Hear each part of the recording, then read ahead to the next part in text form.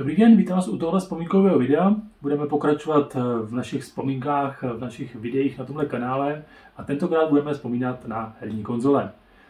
Tedy na herní konzole, eh, jak jsem se k ním dostal já, co všechno jsem zažil, jaký všechny jsem měl a nějaký moje pocity z toho všeho. Pokud někdo měl podobný život, podobný konzole, tak samozřejmě budu rád, pokud se třeba o něco podělí do komentáře pod tohleto video. A začneme teda 80. letech eh, přímo v maringotkách s arkádovými automatama a přejdeme potom až do současnosti. A zmíníme se třeba i o těle těch emulátorech, eh, ať už teda pro televizi, anebo teda do ruky, eh, kde můžete potom třeba nějaký ty staré hry ještě pořád hrát. Takže věřím, že vás to bude zajímat, pojďte se podívat. Takže eh, my nezačneme přímo u konzolí, ale uděláme to trošičku oklikou, protože by bylo škoda se nezměnit, eh, jak se k tomu ten člověk dostal. Eh, tady si můžete letmo zatím podívat na 20 konzolí, k kterým jsem se dostal, nebo který jsem měl za 25 let, nebo který, na kterých jsem třeba mohl hrát. Ale nicméně my se radši podíváme na obrázky. Eh, píše se rok 1980 něco, tak jako polovina 80. let a samozřejmě první setkání nějakého toho kluka v té době s nějakýma těma herníma zařízeníma bylo eh, na automatech. Respektive se tomu říkalo automaty, teď se bavíme o arkádových automatech, o konapech a nicméně tehdy to byly takový ty maringotky, kde takový divný pán vždycky tam eh, roz, rozměňoval ty peníze na dvou koruny a pak ty eh, děti, co tam byly a přišli zrovna ze školy a u nás to opravdu fungovalo na principu, že ta maringotka stála fakt před školou, tak vlastně šli ze školy a rovnou šli vlastně do toho automatu. Eh, movitější z nás teda vzali ty dvě koruny a mohli si tam teda zahrát na chvilku tu hru, než to zkazili a než umřeli. A my ostatní jsme koukali na ty movitější, jak to teda zkazili, případně neskazili. Eh, dvě koruny nezní moc, na druhou stranu se bavíme o nějakých 80. letech, kdy ten plat byl desetkrát menší než dneska, takže berme to tak, jako kdybyste tam házeli 20 korun a to už jako není úplně zas tak zanedbatelný. Eh, to, co tady vidíte, samozřejmě není autentická fotografie. Samozřejmě já bych dal klidně tisícovku za autentickou fotografii toho automatu, toho automatu ty maringotky, která, která jezdila třeba k nám, ale to už se zkrátka nikdy nestane a tohle to nikdo nefotil. Takže takový ty chvilky, které si vy dneska můžete na mobil, nebo my můžeme na mobil nahrát, tak tehdy bylo nemyslitelný, takže žádná fotografie pochybuju, že by té doby existovala, eh, myslím teďka v našem malom městě, eh, v tom, eh, v té Maringoce, že by si to někdo vyfotil. Ta Marigotka tam jezdila jedna, někdy jezdily taky dvě, buď to bylo spojené s poutí, že přijela pouť, tak přijela ta Marigotka, ale někdy ta Marigotka přijela i, i bez toho. Je fakt, že když jsem pak byl na střední, tak tam prostě ta Marigotka stávala bez nějaký poutě občas, nebo tam stávala, mám pocit, velice často a tam byly zase jiné hry. Každopádně k nám prvně na tu základku, tak vlastně jezdívala pořád jakoby stejná maringotka, takže tam byly jakoby stejné hry a vlastně se na tom nic neměnilo a nikoho to vlastně jakoby netrápilo. No. Eh, když se vlastně tady podíváme, co tam tak mohlo být za, za hry, tak eh, Galaxia, Space Invaders, eh, Donkey Kong, u nás tam byl takový ten, takový ten periskop eh, u té ponorky, pak takový nějaký to úplně primitivní auto, ještě takový to černobílý, jak tam byl ten volant a jenom takový ty sloupky u silnice, jak se jelo mezi něma. Komando tam bylo, tak to si taky pamatuju, eh, to se tam hrálo že ve dvou, tak eh, Karneval tam byl, tak to byla taky hra, která jsem obdivoval, jak je jako jednoduchá, přitom taková návyková. Takže to jenom teďka jsem jako letmo, letmo vzpomněl, co tam bylo to za, za hry. Eh, každopádně teď se bavíme o nějakých automatech, nicméně bylo to nějaký první můj dotek s tímhletím světem, takže jsem to musel, musel změnit. Eh, můj druhý dotek eh, s nějakýma, řekněme, herníma konzolema byl nicméně taky někdy v 80. letech a bylo to s něčím, co vypadá takto. Eh, to, co vidíte nahoře na za, za ten název vám nic neřekne. Je to daný i tím, že spíš šlo o čip, který používali tyhle ty herní zařízení a ty názvy se jmenovaly různě. Byla prostě firma, která vyráběla tenhle ten čip a pak ty firmy, co vyráběly tyhle ty herní zařízení, jich bylo několik. Teď se samozřejmě bavíme o západním světě, u nás nic takového neexistovalo. A byla to vlastně taková krabička, která eh, pomocí nějakého tohohle přepínače tam eh, přepínala tyhle ty herní žánry. A pak byly další dvě krabičky, které drátem teda vedly z ní a měly na sobě nějaký eh, tlačítka a potenciometr. Ten potenciometr byl normálně jakoby otočný knoflík, se otáčel. A jak se otáčel, tak se hýbal vlastně i ta listička nahoře co tam vypadá jako Pong, tak vlastně byla taková možná vylepšená verze Pongu, takže jeden hráč, ta jedna listička, druhý hráč, druhá listička, a uprostřed samozřejmě se hejbe eh, čtvereček a odráží se. To vás asi nepřekvapí. A bylo tam několik těch režimů a teď vás zase zajímá, proč je tam ta pistol, tak uh, to mělo ještě jakoby nějaký dvě, dva herní režimy na střílení a ta střelba spočívala v tom, že nahoře tam bylo skóre a na té černé obrazovce se objevil prostě čtvereček někde, vy z toho střelili nebo netrefili a on se zmizel, objevil se jinde, takže samozřejmě úplně nejprimitivnější možnost, jak, jak taková ta střelba by mohla vlastně existovat. E, Tohle to na západě existovalo už v 70. letech, jsme v druhé polovině 70. let a bylo to celkem jakoby hojný. E, u nás vlastně nic takového běžně nebylo. A dalo se to ale sestrojit. Určitě v nějakém amatérském rádiu by byl možná i návod, jak něco takového sestrojit. A já jsem se k tomuhle dostal takovýmhle způsobem, že táta to od někoho půjčil v práci, když jsme jeli zrovna nějak jako v létě na chatu. Tady jsme to tam asi týden měli. A byla to krabička, která vůbec nevypadala takhle. A možná bych i věřil tomu, že to byla nějaká amatérsky udělaná krabička. Vlastně prosím vás, já jsem byl jako malý dítě, já si z toho vlastně zase úplně tak jako bohužel moc jako nepamatuju, ale pamatuju si, že eh, jsme vozili na chatu normálně jenom pluto černobílý, takže vlastně se to hrálo na tom, jo. Každopádně pro mě to byl silný zážitek, který si samozřejmě pamatuju do teďka, že něco takového jsem měl v ruce, eh, že to vůbec nemělo s grafikou současné herní společného, ale zažil jsem to a chtěl jsem se tím pochlubit. Eh, každopádně věc další, která se v 80. letech stala eh, už jako většině z vás, eh, bylo, že jste dostali do rukou nějaký tenhle ten stroj sovětský výroby, většinou v, po, v podobě teda jen počkejzající, nebo chobotnice, nebo teda kuchaře. Tyhle ty tři verze byly bezkonkurenčně nejrozšířenější všude. Byla to vlastně nelicenční kopie Nintendo Game Watch, kterou vlastně e, vydávali v Japonsku už od roku 83 a o něco později teda vyšla kopie, kopie i v Sovětském svazu. Eh, k nám se potom taky začala dovážet a pro představu tehdy stála 500 eh, československých korun.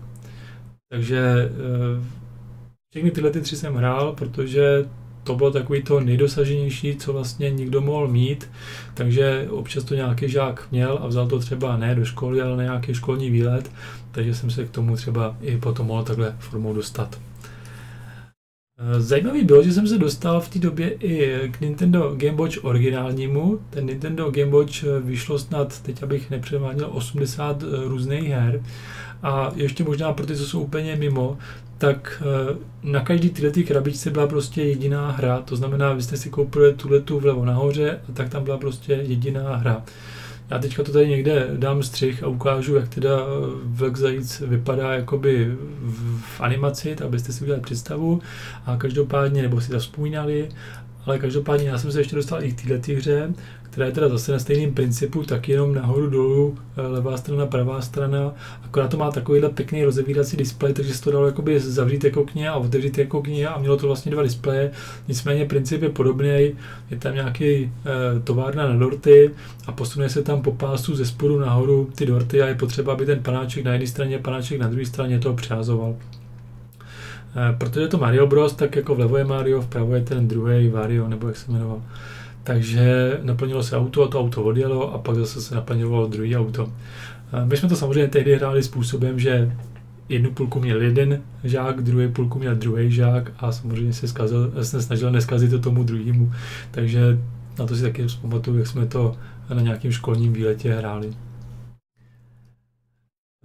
Dohledal jsem i eh, tenhle ten, tenhle ten eh, automat, tenhle ten, tuhle tu hru a tady spočívala v tom, že jste byli ten tank, co je dole a snažili jste se zleva projet doprava. A z vrchu padaly na vás jakoby eh, bomby od těch, eh, od těch letadel, takže tam prolítávaly letadla a házely na vás bomby a vy jste se museli těm bombám vyhýbat a ještě potom se snažit přejet přes ten most, který se občas zvedal, občas tady jakoby padal dolů, takže ten tank stojí u mostu, který se sklopí a pak, aby po něm mohl přejet dozadu.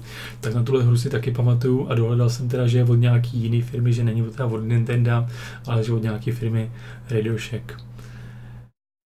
Každopádně vraťme se ještě do roku 88, nebo posuníme se do roku 88. V roce 88 jsem opravdu dostal i já teda svýho eh, elektroniku, takže elektronika z eh, Jen počkej zajíci a eh, spousta hodin hraní této primitivní hry. Já teď nechci nějak vysvětlovat ten princip, ten je asi všem jasný, spíš je to tak jako údivem, že člověk tehdy vydržel u takovéhle hry prostě třeba půl dne, jo. Já to samozřejmě teďka, když si to člověk, člověk zkusil hrát, jako, tak vydrží chvilku a pak ho to prostě nebaví, no, ale nic jiného tehdy samozřejmě nebylo a my jsme nevěděli, že existují jakoby v podstatě lepší věci. Teď hodně přeskočím až do roku 93, protože pokud se vlastně bavíme o nějakých herních konzolích, tak eh, já jsem tehdy žádnou konzoli neměl, že jo, měl jsem Didactic, v roce 93 už jsem měl Amigu, takže já to neberu jako, eh, jako, jako konzole, konec konců video pro Didactic tady je vzpomínkový, video vzpomínkový pro Amigu tady taky je. Tohle je Panasonic 3DO. Panasonic 3DO byla na tehdejší dobu asi nejvyspělejší, nejvyspělejší a nejvýkonnější herní konzole. A Teď si řekneme proč. Protože 93. rok a tohleto. To je prostě 3D, jo. Já tam teďka překážím před tím Ferrari. Ale se na to vlastně podíváte, to vypadá jako neskutečně úžasně. Jasně, v té době. Dneska si řeknete, dítě to kostkovaný, hranatý, divný, Jo, jenomže tehdy to bylo něco, na co jsme koukali a říkali jsme si, to snad není možný, tohle to jako vážně, když vám to ukážu, proč by člověk byl z toho tak jako na větvi. To, co vidíte vpravo, je eh, Amiga, kterou člověk měl. To, co vidíte vlevo, je 3D a 3D 3D závody, jako by kdybych to měl srovnávat, jo, napravo je Lotus klasicky dvojka a vlevo je normálně eh, Need for Speed, takže jo, Need for Speed v roce 93 a my jsme v té době v 93 hráli to napravo. Takže jo, 3D byla určitě, určitě revoluce a samozřejmě chtěli jsme to bývali byli tehdy mít. No. Každopádně 3DO eh, nemělo nějaký velký úspěch, takže já jsem se k první konzoli v podstatě jakoby řekněme konzoli dostal v roce 95 a to byl teda Commodore Amiga CD32. Commodore CD32 měl v sobě eh, vnitřnosti eh, Amiga 1200, takže vlastně na tehdejší dobu tak ta mainstreamová Amiga akorát počítala s tím, že nebude mít klávesnici a že se ty hry budou ovládat tímhle tím ovladačem. Každopádně e, nemělo to dlouhé trvání, protože Amiga přišla s tímhle tím hardwarem celkem pozdě, protože už nebyl dostatečně výkonný, takže ta Amiga se začala už v tom roce 95 e, víceméně e, vyprodávat a já tady mám chybičku, ta Amiga se začala prodávat v roce 93, takže já jsem si nekoupil v roce 93, ale v 95, když už byla v tom výprodeji, na začátku se prodávala zhruba za nějakých 14 tisíc, ale pak už se klesla ta cena i pod 6 tisíc. Já jsem na to měl i několik her, eh, ale nutno podotknout, jako nestálo to za to, no. Jako, jako spíš nostalgie, jestli člověk koupil, že měl, že měl vztah k tomu Commodoru, že si to chtěl jakoby zkusit, ale a že to, není, a že to nebylo jakoby ve výsledku ani zase tak jako drahý, ale ne, to není ono. Eh, ze zvědavosti jsem si tehdy koupil uh, Game Boy, klasický Game Boy z roku 89, ale já jsem si ho koupil v roce 95, takže když už to bylo vlastně jakoby zastaralý, dalo by se říct, eh, koupil jsem to s jednou hrou a s tou hrou jsem jakoby vydržel nějakou dobu a samozřejmě jsem jako nechtěl kupovat další hry, tak jsem to zase jako prodal. Spíš mě šlo o to si to nějakým způsobem vyzkoušet. A vyzkoušel jsem si to, prodal jsem to víceméně za peníze, který jsem to koupil, tak žádná ztráta tam, tam nebyla. V roce 96 jsem se dostal eh, k Seze Mega Drive. Klasická herní eh, konzola, na který běžely všechny díle, díly kultovního Sonika. A ten kluk, u kterého jsem to hrál, tak on ty Soniky všechny měl. A měl jako fakt je naučený hodně, protože on asi možná snad ani jinou hru neměl, takže on tohle to měl hodně naučený a byl v tom dobrý. A já jsem teda měl to štěstí, že jsem to u něho párkrát si mohl zkusit, takže jsem se dostal k Sonicovi. Takže Sonic a Sega Mega Drive. Eh, jinak mimochodem Sega Mega Drive má taky procesor Motorola 68000, stejně jako Amiga. Nějaký ilustrační obrázek Sonic. Přijdeme do roku 99, kdy, vyš, kdy jsem si koupil eh, barevný Game Boy a motivací mě tehdy byla taková jakoby věc, že se tyhle ty Game Boy dali eh, sehnat eh, kartou jako z cartridge, do který se dala dát, do který se dala dát paměťová karta a pokud se na tu paměťovou kartu nahrály stažené hry, tak to normálně fungovalo. Takže vy jste v podstatě, pokud jste měli takovouhle, eh, takovouhle cartridge speciální, která samozřejmě taky nebyla levná, tak jste do toho mohli dát paměťovou kartu a pak jste z té paměťové karty mohli hrát v podstatě eh, libovolné hry na tom Game Boy. Tak to taky takhle v té době nějak existovalo. V roce 98 eh, jsem si nicméně pořídil Sony PlayStation, vidíte, že jsem si to pořídil několik let potom, co to vyšlo. E, I z toho důvodu, že už to pak nestalo tolik peněz. Já si pamatuju, jak známý si to kupoval, když to vyšlo v 94. a stalo to skoro 20 tisíc. Já jsem to tedy kupoval e, někde v nějakém bazaru, e, to bylo v Brně na České ulici a tam jsem ho kupoval, teď nevím, jako nějak kolem 5 tisíc, takže za 5 tisíc. A důvod, proč jsem chtěl PlayStation, byl opravdu Tekken 3. Tekken 3 jako v podstatě rozhodně nejlepší bojovka té doby, jo, když vezmu jakoby na nějaký konzole, když pominu arkády. Protože to, co vlastně vidíte za mnou, ačkoliv se vám to může připadat jako kdo ví a kostkovaný, tak v té době bylo úplně neskutečně 3D, jo, takže tohle byl důvod, proč jsem si koupil na PlayStation. Když se k tomu vrátím, tak eh, PlayStation byla doba, kdy eh, začínalo už jakoby celkem se eh, šířit vypalování CDček, takže v nějakém roce 96-97 už se dala sehnat i řada vypalených CDček na PlayStation, takže PlayStation v té době byl celkem rozšířený vůbec obecně, protože ty vypálené hry už nebyl problém sehnat, jak klesly ceny vypalovaček a ceny, ceny médií, takže i PlayStationy bývaly Eh, hodně rozšířený, protože zkrátka těch pálných her v té společnosti bylo taky dost. Když se posuneme do roku 2002, tak jsem si tehdy koupil PlayStation 2 a důvod zase, proč jsem si koupil PlayStation 2, nebyl teda Tekken, ani Tekken tak, ale byl to eh, GTA Vice City. Mně prostě se strašně líbila ta atmosféra 80. let, a chtěl jsem tu hru mít a tehdy ještě nevyšla eh, na PC, pak teda později vyšla i na PC, ale v té době ještě ne, v té době byla ještě exkluzivně pro PlayStation a tím pádem jsem si tu hru chtěl koupit a jiná možnost nebyla, než si koupit vlastně tím pádem PlayStation 2. Eh, PlayStation 2 eh, byla konzole, která byla nepoměrně výkonnější než, než PlayStation 1, takže ta grafika byla jakoby fakt lepší. Jako na první pohled bylo poznat, že to je nová generace, a co se týče zase těch her, tak eh, zase obecně ve společnosti eh, byla tady vlastně věc, že i na PlayStation 2 se taky šířily, šířily vlastně jako vypálené hry. Takže vlastně řada lidí eh, mělo PlayStation, na kterým provozovalo vypálené hry které zase byly ještě levnější potom už vzhledem k tomu, jak se vyvíjela situace, než potom na ten PlayStation 1. Já si na to pamatuju, jak jak eh, ten známý, co si kupoval toho PlayStation tehdy, tak pak zase čekal, na, až vyjde PlayStation 2. PlayStation 2 měl tehdy eh, zaváděcí cenu, tuším 22 tisíc, eh, nebo 23 tisíc, úplně nějakou takovou šílenou cenu. A jako to vůbec prostě samozřejmě nebylo málo peněz. Teď nechci typnout, kolik jsem měl, to bylo prostě přes dvě vejplaty. Takže přes dvě vejplaty by mě tehdy stál PlayStation, prostě hranec peněz. Ale ten známý si to koupil tehdy a já jsem se na to byl podívat hnedka o těch, o těch Vánocích a měl tam na to koupený Tekena, jako Tekken tak a bylo to pěkný samozřejmě, no. Já jsem si to koupil až eh, teda o ty dva roky později, až, až teda to bylo levnější. Takže GTA Vice City. nějaký ilustrační obrázek mýho PlayStationu. A já jsem si pak koupil ještě jiný, koupil jsem si tuhle tu sadu, kde byla ta kamerka. Tak to byla taková kamerka, která vlastně měla zajišťovat nějakou interakci, takže si vidíte, že jsem ještě nějaký demo, demo CD, takže existoval PlayStation časopis.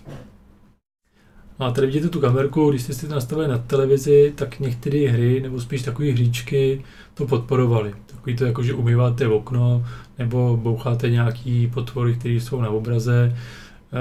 Nic pro dlouhodobý hraní, takže spíš takový, že vás to natchne, ale pak vlastně zjistíte, že to vlastně vůbec nepotřebujete a dáte si tam zase klasický rečet a hrajete rečet a jste spokojení, no. takže tam je rečet.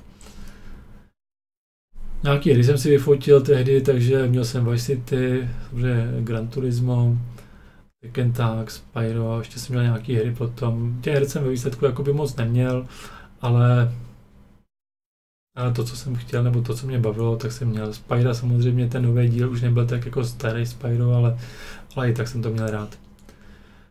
Trošičku odbočíme a dostaneme se do roku 2004 a já jsem zahrnu i Nokia Engage, což byl vlastně jakoby mobilní telefon, který se mohl trošku tvářit jako, jako herní konzole.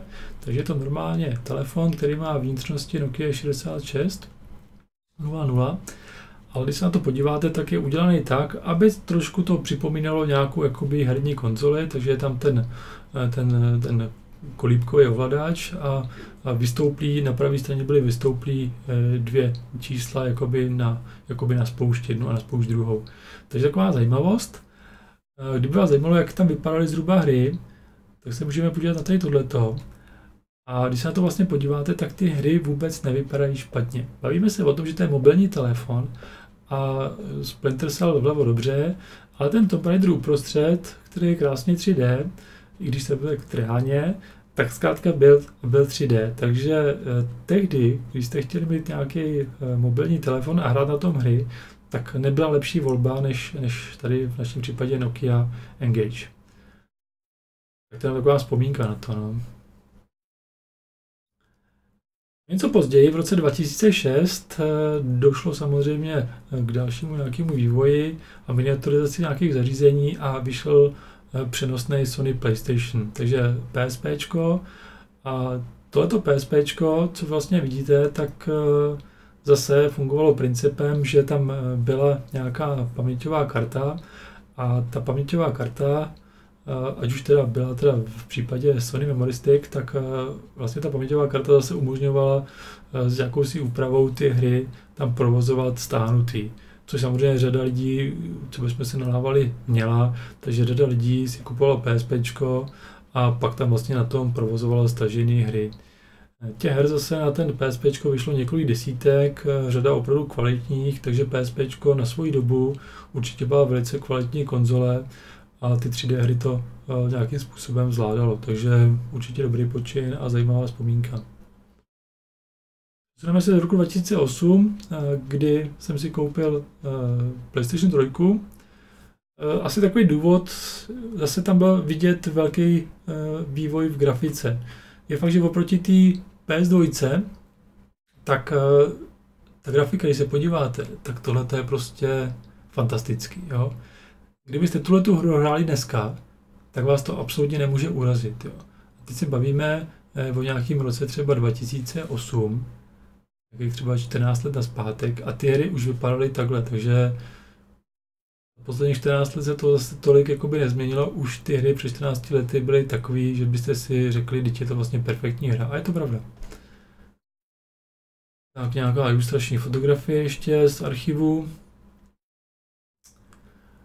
A pak ještě tady nějaký nafocený hry, tak většinou nějaký Ratchet a je tam Uncharted 3, protože samozřejmě Uncharted, kdo má PlayStation, tak asi více je to Uncharted a vlastně to je hra, kterou kterou prostě musíte, musíte hrát. No. A pak jsem se až v roce 2010 dostal k Xboxu 360.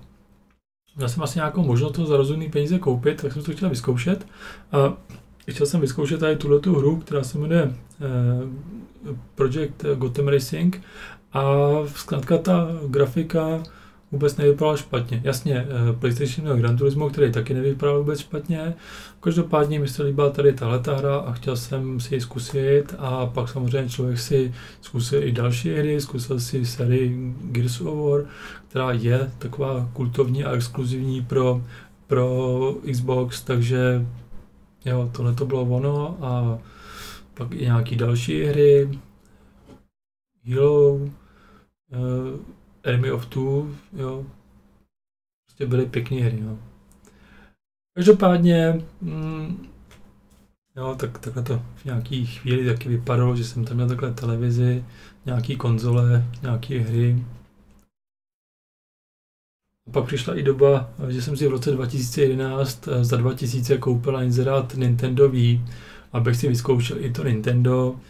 Rovnou řeknu, že mě nějak nepřirostlo k srdci, vlastně neměl jsem k tomu, asi jsem člověk, který potřebuje aspoň nějakou trochu grafiku a když už jako zažijete tu grafiku, kterou jste viděli předtím, tak Nintendo Wii už vás nemůže nějakým způsobem ohromit. Chápu, že Nintendo není v grafice a nikdy nebyl v grafice, ale na druhou stranu nevím, asi nejsem ta cílovka, která která chce hrát nějaký tenis s dětskými postavičkama uh, před televizí, tak to asi jsem nebyl já. Takže pro mě Nintendo Wii uh, nebylo úplně to, co bych chtěl. Na druhou stranu pak mě vyhořel zdroj, já jsem si pak objednal levný zdroj z Číny a ten levný zdroj z Číny byl nějaký vadný, no vadný, byl z Číny, tak byl nějaký šizený a dělal to potom pruhy nějaký, nebo nějaký vady na tom obraze, takže pak už jsem na tom ani nehrál, už to pak někde někde zůstalo. No něco později, 2016, jsem si teda koupil Xbox One, což byla celkem jakoby jasná volba z toho důvodu, že, že eh, ten Xbox se mi prostě líbil. Jo. Nebylo to nic proti Sony, viděli jste, že jsem ten PlayStation měl od, od jedničky a měl jsem ho i dřív. A na druhou stranu ten Xbox měl taky nějaké svoje věci, které se mi líbily, tak jsem si koupil Xbox One, o dva roky později jsem si koupil 2 terabajtový Xbox One a v roce 2017 jsem měl ještě dobrou nabídku na PlayStation 4, tak jsem si koupil PlayStation 4 a rovnou řeknu, že důvod, proč si koupit PlayStation 4 byl pro mě Uncharted 4, protože ty videa, které jsem viděl předtím, tak mě samozřejmě mrzelo, že to je exkluzivně jenom pro PlayStation ale to je přesně hra, kterou si chcete na tom PlayStationu zahrát. Jo, takže když to vezmu kolem a kolem, tak uh, PlayStation 4 vlastně kvůli Uncharted. A pak teda ještě God of War taky dobrý. No. V roce 2019 jsem si koupil Xbox One X, abych teda mohl hrát konečně na 4K televizi, 4K hry, eh, což samozřejmě přece nějaká viditelná změna tam byla. A už potom tehdy, nebo už předtím jsem měl, uh, už předtím jsem měl um, gold zaplacený. A když máte zaplacený ten gold, protože tehdy se dal gold cena po tisícovku roční, což bylo super, takže pak ještě přišla taková ta nabídka, jak začal být ten Ultimate, že jste si mohli převést ten gold na ten Ultimate, takže jsem samozřejmě koupil si uh, pod tisícovku další dva kupony, takže jsem měl potom teda tři roky gold a který jsem si nechal převést na Ultimate, takže teď mi běží vlastně uh, pořád ještě Ultimate z doby, kdy jsem levně koupil ten Gold. Ten Gold už mám tak čtyři roky, takže když si to spočítáte, tak tam už v té knihovně musí být spoustu her. A teď, když si vezmete, že už je tam, už je tam uh, Ultimate, tak je tam samozřejmě uh, v pasu uh, zase knihovna her, ať už Electronic Arts, nebo to, takže her na hraní je prosím vás strašně moc, akorát teda není vůbec čas. Takže mě tam úplně teďka zbytečně ten Ultimate leží a já vlastně nehraju nic. Prostě nic. Zapnu to vždycky na začátku měsíce, přidám si hry do Goldu, zapnu v půlce měsíce, přidám si hry do Goldu a to je vlastně celý, co já vlastně dělám. Tady světlá chvilka, někdy v loni, eh, v loni o Vánocích jsem hrál Gears 5, Hrál jsem to vlastně s kámošem, eh, přijel vlastně, tak jsme hráli crossplay, já jsem to hrál na počítači, on to hrál na Xboxu a takhle krásně to vypadalo. Pokud vás zajímalo něco statisticky, tak se tady můžete aspoň podívat, eh, bylo by škoda, abych aspoň nepřidal nějaký graf, tak jsem tady přidal takovýhle pěkný graf a na tom grafu tady vidíte vývoj výkonu konzolí. Eh, to, co vidíte úplně vlevo, je v podstatě taková ta pistolka, co jste viděli na začátku, že střílíte to, co vypadalo jako Pong, jako že střílíte ty čtverečky nebo hrajete ten Pong, tak nějaký výkon a pak tady před nějaký ty další věci, včetně Amiga CD32 až po Sony PlayStation. Eh, pak je celkem zřejmé, že eh, tady někde začínalo to zvládat 3D grafiku, jo? takže tady někde hranatou, tady už méně hranatou, no a pak tady už to zvládlo to 3D grafiku líp. Takže šlo nějaký výkon a pak spodní graf je podobný graf, akorát tady to začínáme PlayStation 1, tady kdy končíme PlayStation 1, tak tady PlayStation 1, dvojka a tak dál, až teda k poslednímu Xbox Series X. Takže vývoj se nám trošku nějak jako posunuje a i uh, ten výkon těch konzolí se samozřejmě taky posunuje. Když tam už nejsou takové skoky, jako třeba tady bývaly někde předtím, ale tak to víme všichni. Konec konců se o tom věnovalo to jedno moje video, uh, jestli ten nový Next Gen je Next Gen. Tak, uh, v podstatě tohleto video jste taky viděli, nebo to je obrázek z jednoho mého minulého videa. Tady můžete vidět, že uh, není to o tom, že bych preferoval PlayStation nebo Xbox, vidíte, že mám, že mám oboje. Eh, k obojímu mám vztah, teď už vidíte i, že dlouholetý vztah mám k obojímu, eh, vůbec nechci říkat něco lepší nebo horší. Každopádně pravdou je, že teďka preferuju Xbox a důvodem není ani tak jako výkon, jako prostě eh, Game Pass. A ten Game Pass je prostě služba, která je fakt dobrá. A pokud jste ji koupili levně třeba jako já, tak super, no. Pokud byste si ji měli pak kupovat za 350 nebo kolik měsíčně, tak už to super není. A když mě to stálo tehdy eh, na nějakých 80 korun měsíčně, tak to samozřejmě je úplně, úplně jiný rozhodování. Eh, poslední snímek se ještě rozloučíme tady tímhletím, když se na tohle teďka podíváte, tak eh, tohle jsou v podstatě emulátory, nebo prostě konzole, takový ty přenosný, ať už se to jedná do ruky, to, co vidíte vlevo je takový prostě portable zařízení, eh, který zvládá emulovat řadu starých herních systémů. To, co vidíte napravo, tak je k televizi, taková malá krabička, co jste viděli na začátku videa. Má to normálně HDMI výstup, má to dva bezdrátový Bluetooth ovladače, který eh, vypadají jako od PlayStationu. Každopádně i to vlevo, i to vpravo je schopný emulovat desítky různých systémů a tím pádem provozovat desítky tisíc různých her. Tohle by možná za zvážení stálo za to někdy, kdyby asi byl možná i zájem, nebo nevím, někdy se k tomu dostanu, udělat samostatný videa. Eh, každopádně si myslím, že to není zase tak drahý a pro takový eh, pamětník, jako jsem já, nebo možná vy, protože se na tohle video díváte, tak si myslím, že to vůbec není eh, špatná volba. Pokud si měl vybrat to vlevo nebo vpravo, tak by si spíš vybral asi to vpravo, protože jasně na druhou stranu to si můžete pustit nějaký emulátor nebo třeba dneska i online a pustit si to k televizi a máte něco podobného. Na druhou stranu tohle to máte krabičku, kde vlastně máte všechno jakoby tak uspořádání u sebe a máte ještě dva bezdrátové veleče, tak to je taky taková vlastně zajímavost, kterou jsem chtěl ještě teďka ukázat. Tak, a jsme na konci. Vykladal jsem to nějak eh, trochu souvisle, aspoň věřím. Eh, snad jste si v tom něco našli, co vás třeba zaujalo, měli jste možná podobný životní příběh jako třeba já, hráli jste třeba něco jiného, měli jste možná trošku jiný konzoli, možná jste jich měli míň, možná někdo i víc. A byl bych rád třeba, kdybyste mi napsali něco zajímavého, co jsem třeba zapomněl říct nebo neřekl. Já vždycky si e, něco namyslím, že řeknu a pak na to zapomenu ale to nevadí, zkrátka je to takový upřímný, nechtěl jsem tohle nějak jakoby připravovat, mít nějaký přesný scénář, už tak mě vede tato prezentace, takže jsem rád, pokud se vám to líbilo, budu rád, když napíšete něco do komentáře a uvidíme se zase u nějakého dalšího vzpomínkového videa, nebo si pustíte nějaký jiný vzpomínkový, který už tady aktuálně je. Mějte se co nejlíp a zase někdy na viděnou. A kdyby někdo nepoznal, co tady na stole je, tak je tady klasicky První verze Xbox 360, ta FAT verze, pak je tady e, další dvě verze Xboxu 360, e, eh, zase tohle to byla ta druhá verze a to byla ta třetí verze, pak je tady PlayStation 3, PlayStation 4, pak je tady Xbox One X, a pak je tady Xbox Series X. A pak jsou tady ty dva e, emulátory, nebo ty konzole, které můžou emulovat v podstatě cokoliv, protože třeba v tomhle to je normálně Android, takže vlastně se tam dá nahrát v podstatě cokoliv a na internetu jsou i ke stažení eh, přímo aplikace, které pak eh, vám to umožňují. Tohle je obdoba, akorát vlastně ta je přenosná do ruky. Tohle se normálně připojí přes HDMI. Tak, ovladače k tomu a to je vlastně všechno.